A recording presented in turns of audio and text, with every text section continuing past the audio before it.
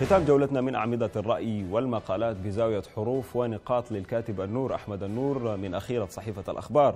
بعنوان الصناعة تستغيث يشير الكاتب في مقدمة زاويته إلى شكاوى أصحاب المصانع من تعدد الرسوم والجبايات إلى جانب ارتفاع كلفة التشغيل وتصاعد مدخلات الإنتاج مما يضعف من قدرة السلع السودانية على المنافسة في السوق الخارجي ويبطئ من خطوات الانضمام إلى منظمة التجارة العالمية. ويرى النور أن من يؤمنون بنظرية المؤامرة يعتقدون أن أيادي خفية تسعى لتدمير الصناعة في البلاد عبر إرهاقها بمزيد من الرسوم حتى يعجز أصحاب المصانع والمستثمرون. وتقف عجلة الإنتاج ويتشرد الآلاف من العاملين وتضيع وراءهم أسرهم التي تقتات من دخولهم المحدودة.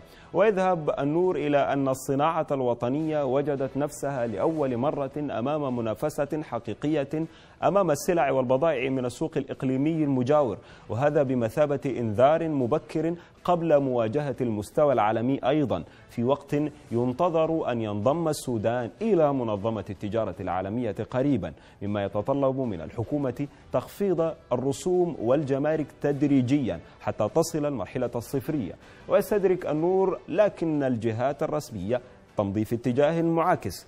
يختتم زاويته وهو يتساءل قبل استعداد الصناعة الوطنية هل الحكومة لتحمل تبعات الانضمام لمنظمة التجارة العالمية بالتخلي عن الرسوم والجمارك وفتح الأسواق للمنتجات العابرة للحدود وسيطرتها على الأسواق باعتبارها أقل سعرا.